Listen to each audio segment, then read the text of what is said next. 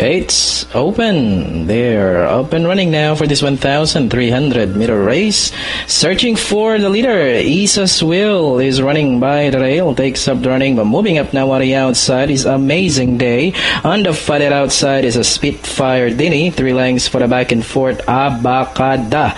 Second last, number four, Humble Joe. And Hello Boss is running at the back of the track.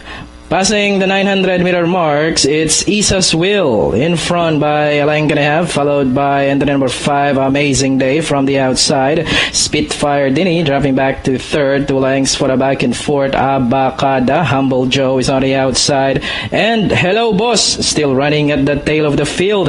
Rounding at a far turn, it's still Yssa's Will now in front, still leading the field, followed by Amazing Day from the outside. Spitfire Dinny still in third, and as they reach the home stretch, it's still Yssa's Will in front now by some two lengths. Amazing Day working very hard in second. Spitfire Dinny remains in third, getting closer now is Abacada.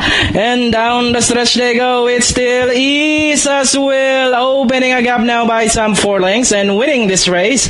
And finally, Yssa's Will, Abacada. Number five, Amazing Day.